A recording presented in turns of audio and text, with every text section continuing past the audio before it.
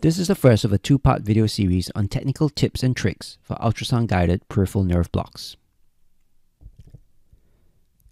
The technical performance of ultrasound guided peripheral nerve blocks is something of great interest to me. I consider it not just a skill, but also an art, and I personally take great pleasure in executing a block well. More importantly, though, good technique also increases the probability that the block will be both safe and effective. Technical mastery will allow you to place your local anesthetic into an optimal location at the lowest possible dose and with the least trauma to the patient. In this presentation, I will take you through the typical steps of a block procedure and highlight to you what I believe are key aspects to focus on and certain tips and tricks that I have found helpful in my experience. Note that I will be discussing only technical performance in this talk. However, we are clinicians, not just technicians. And regional anesthesia is more than just technique.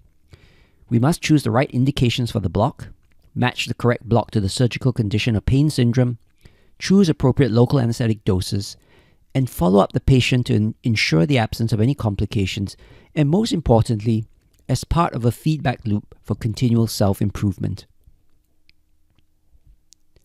Setting up your environment is the first step. The priority here is to ensure that the ergonomics of block performance are optimal. Ultrasound guided peripheral nerve blocks require complex hand eye coordination and controlled manual dexterity, so physical comfort is important, especially for less experienced users. Consider where you will position yourself, the operator, your assistant, and the ultrasound machine in relation to the patient. Ideally, the, pa- the practitioner's hands, block site, and ultrasound screen should be in the same line of sight. Keeping the ultrasound beam and needle tip aligned while manipulating the probe and needle during advancement to the target is much more difficult if you are twisted away from the patient to look at the ultrasound screen. Decide if you will be advancing the needle along your line of sight, that is in a sagittal plane, or across your line of sight in a coronal plane. This choice is most relevant for upper limb blocks such as the axillary or infraclavicular, where you have the option to stand at the head of the patient or on the same side as the limb to be blocked. There is evidence that the along approach is preferable because it is easier to achieve and maintain in plane needle beam alignment. You can also hold the needle with your preferred hand, regardless of whether the block is being performed on the patient's right or left side. The downside is that the patient's head may be in your way, or you may find yourself bending over to reach the block site. The across approach may, however, be the most practical or unavoidable in many situations, and I have to say that we use it quite commonly in my practice. Alignment gets better with practice, but one common error I've observed in less experienced trainees is a tendency to push the needle hub away from themselves as they advance the needle or change needle angle, which misaligns the needle with the beam. The solution here is to be aware that this can happen and to check your alignment regularly by looking down at your hands away from the ultrasound screen, especially if you're having trouble locating the needle tip. It may also help to keep your elbows firmly locked into your side and not extending them. How you hold the ultrasound probe and needle is also critical for technical control. The ultrasound probe should be held low down for maximum stability and in one of two ways. If the probe is parallel to your body, then use the thumb and second and third fingers to grip the flat surface of the probe. Alternatively, hold the probe with the thumb and second and third fingers resting on the shoulders of the probe. The general rule to remember is that the wrist should not be hyperextended, which will lead to fatigue and loss of control. The finger and edge of the hand should be firmly anchored on the patient in most instances and does not move at all much during the whole procedure. The subtle tilting and sliding micro movements of the probe required to optimize target visibility and to align beam and needle are instead made by flexing and extending the fingers. Keep the wrists in a neutral position as far as possible. The goal is to feel relaxed with no tension in the shoulders or elbows or wrist. Do not grip the probe or needle hard either. Your grip should be relaxed but controlled, which is something that comes with practice. Too much tension will impair your ability to make the fine movements needed for needle beam alignment, to guide the needle to the target, and to sense the tactile feedback from the needle tip as it advances through the different tissue and fascial layers. This video is a good illustration of this concept. Look at the operator's hands and note how lightly they are holding both probe and needle, and the relaxed yet fine and controlled movements that each hand is making to manipulate the probe and the needle. Let's turn now to the scanning phase. This is the first step in the procedure, and the goal here is to identify the nerve target on ultrasound imaging and to optimize its visibility. Anatomical knowledge is critical to ultrasound guided blocks as you will only see structures that you are looking for. But you have to know what it is that you're looking for. I hope all of you can see the fish, especially now that I've told you it's there. Ultrasound scanning for a block is also like planning a journey. The target nerve is your destination, but nerves are not always easy to see. To locate nerves, especially in patients with difficult anatomy, it's essential to know the sequence of landmarks or signposts to look for. Nerves have constant, well defined relationships to structures that are easier to see on ultrasound. These include muscle and fascial layers, vessels, and bone.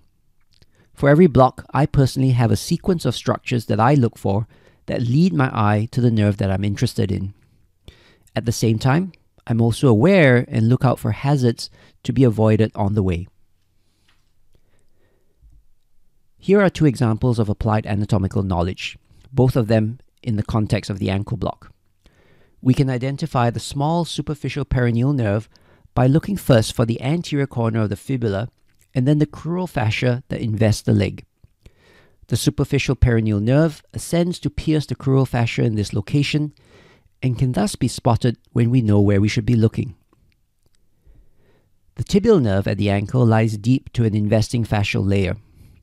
But more importantly, the nerve is located posterior and adjacent to the posterior tibial artery and accompanying veins, which are visible even in swollen ankles. And these signposts make it easier to spot the tibial nerve. But we can also optimize our ultrasound image beyond the basic adjustments with good probe handling. The two maneuvers to always use are pressure and tilting. Unlike for ultrasound guided vascular access, in nerve blocks we usually want to press firmly to compress the superficial tissues. This will almost always improve visibility of the target. A rule of thumb for adequate pressure is that it should be sufficient to compress any superficial veins in the area. Tilting is probably the most important maneuver for improving visibility. The echogenicity of nerves will change depending on the angle that the ultrasound waves strike the surface and return to the probe. The correct angle of tilt is determined somewhat by trial and error, but is the angle that makes the boundaries of your target, in this case the nerve, bright, clear, and most visible. Occasionally, a vessel, such as the artery in an infraclavicular block, is the target of interest, and in those cases, you should tilt to make that boundary clear and visible. Tilting, however, is something that many novices neglect to do, mainly because they are too tense. Learning to relax your pro grip, as previously mentioned, will assist greatly in this. Having identified your target nerve, the next step is to plan the path that your needle needs to take to safely reach the nerve for injection of local anesthetic. Using an infraclavicular block as an example, we need to get our needle tip to the 5 o'clock aspect of the artery to deposit our local anesthetic. But we need to avoid injuring nerves in the process. In particular, the lateral cord often appears to lie in the way. The solution is not to avoid the cords and to inject on the outside of the neurovascular bundle as the block will fail. Instead, we can plan a trajectory that will skim past the lateral cord and allow us to eventually get where we intend to go. Now, this can be done in more than one way, but to pull it off requires that we have a deliberate consideration of where we insert our needle through the skin relative to the probe, and thus the angle that the needle will take. This example of the infraclavicular block also illustrates another important principle, and that is that with good needling technique, you can maneuver around vessels and nerves without damaging them.